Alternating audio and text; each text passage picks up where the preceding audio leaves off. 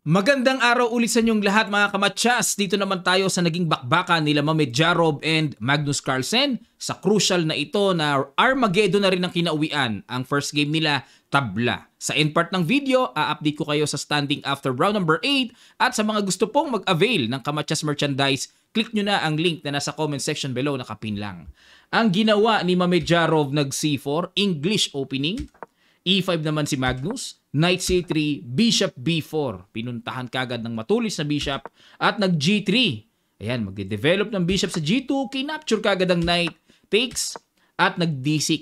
Ginagawa po yan kasi para ma-damage ang pawn structure. Bishop G2, Knight C6, nag A4, aba, kakaiba. Para kukunin kagad ang queenside space. Knight GE7, magkakasling na. D3, ayan, para pakawalan naman ang bishop. Bishop E6, control the D5, mukhang magbe-break. At nag-A5, ayan na nga, ang maagang pagkain sa queenside space. Pero hindi pinansin, nag-queen D7 lang. F4, aba, wala na po kagad sa bakbakang aklat. Okay, nag-castling.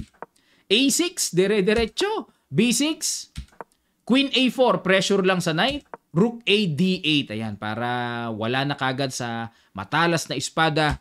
At kumapture sa e5, knight takes e5, takes, takes, at nag-knight h3 develop, bishop c6 para mapatay kagad ang matulis na nagbibigay ng pressure, kinapture na, at nag-rook fe8. Dito pa lang po talagang medyo mahirap na kagad matanaw kung papaanong pipilitin ni Mamejaro ito. Rook a2, d5. Ayan na nga. Kumapture, knight takes d5, c4, knight b4, threat sa torre, rook a4, counter threat, at nag c5. Patibay lang sa knight b4, knight f4 na, knight e c6, at nag king f2. Ayun, dahil sa pressure na bumukas na e-file na pa king f2 tuloy si Mamijaro, pero dapat daw ang tira po ay rook f2. Pero mahirap talaga, pa endgame na eh. King f2, knight d4, bishop e3, ayun. So dito, nag-exhibition si Magnus ng rook takes e3. Hindi naman yan ang good move, no? Kasi ang good move, rook d6 according to Stockfish. Pero ang ginawa dito, sinacrifice na eh. G5, paalis sa knight. Ay, oo, pag umalis, may rook e8 check, kuha ang e2. Knight d5, rook e8 check, king f2, rook takes e2 check, uwi lang, king g1, at nag knight takes d3. Napaka-aktibong mga yoka babs Grabe ang hinete niyan. Rook AA1, G4. Oh, ayan oh, may paparating na Knight F3. Mamaw talaga sa positional understanding. Oh. Knight F4 at kumapture takes nag F5 muna. Yan ang mga pasakali eh, no? Kasi kung check dito, kakapturin lang ba? Parang persado na or ah, king F1 lang ang gagawin dito, may threat. Rook takes H2, sabay bitin pa ang pawn sa G4 with check. Okay, kaya pala pinatibay muna ang G4 at nag-rook F2, rook E4, rook B2, king F7, king F2, knight C6, rook D1, king E6. Ayun, bad move. X kay Stockfish dapat daw ang tira, rook takes C4 na. Linisin na kagad yung mga natatanaw na mga pawns-pawns pa.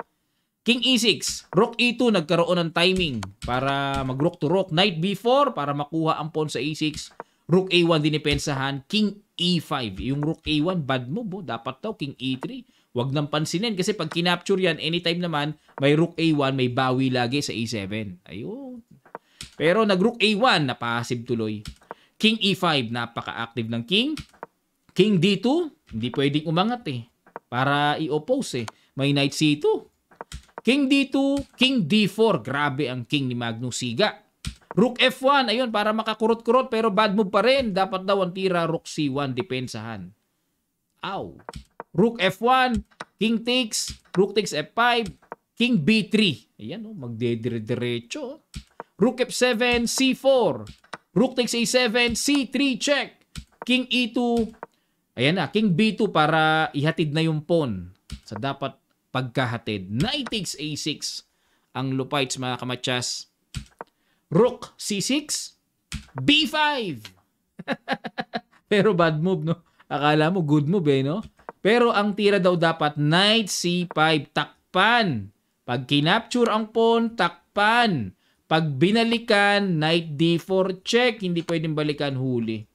Ow! Talagang grabacious. What a solid uh, idea na yon ano? Pero nag b5 dito si Magnus.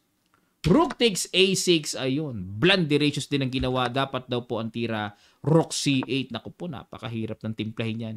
Kasi wala, magbi-b4 na eh. O pero may king d3 daw. Kahit pa paano maaawat-awat. Oo nga no, hindi maka b3 kasi kakapturein lang. Oh, dito ginawa king b3 tapos king e3. Ayun, may mga timplahan pang gagawin. King a3, then king d3. Ayun, oh, magpapabalik-balik oh. Oh, hindi pa maitulak kasi anytime may ganun eh, makukuha yung pawn sa C2. Yan pala panimpla. Pero ginawa dito, kinapture eh, minadali. Pagtira ng C2, oh bush! Resign si Mamedyaro. Bakit po? Kasi obligado babalikan yan and may C1 queen. Obligado naman capturein yan. Meron pang isang supling na tutulak para maka-queen. Okay, ito po ang standing nila mga kamatyas. Ayun, pinangungunahan pa rin ni Karwaning dahil nanalo siya kay Wesley sa Armageddon with 16 points. Nakamura 13.5 points. So may bingit pa rin si Caruana sa last round. Pag natalo siya ng solid sa long game at nanalo si Nakamura ng solid sa long game din, eh magiging 16.5 yan dahil 3 points for long game win. Gukesh, naungusa na si Wesley. Pumang-apat na si Wesley with 11.5. 13 points si Gukesh. At World Champion Magnus 10.5.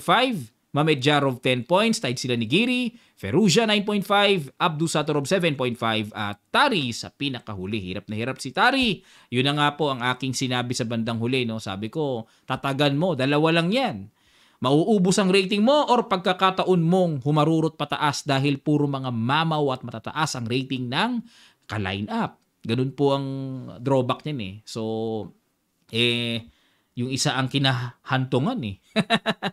okay, abangan po natin ang last round fight mamaya mga kamatsas sa uh, ano ha, i-analyze ka agad natin. Maraming salamat po sa inyong pagsuporta. At muli po sa mga gusto pong mag-avail ng Kamatsas merchandise, click nyo na ang link na nasa comment section below para makapamili kayo. Pwede po nating pirmahan at uh, papadala namin sa inyo door to door. At sa mga gusto pong humabol sa RNT Weekly Training Program ni Coach Kamatsas IM Nava, Every Saturday po yon 10 a.m. to 12 ang lecture, 3 lectures sa loob ng isang buwan at ang last week naman ay ang major tournament, ang champion doon ay 2,500 exclusively.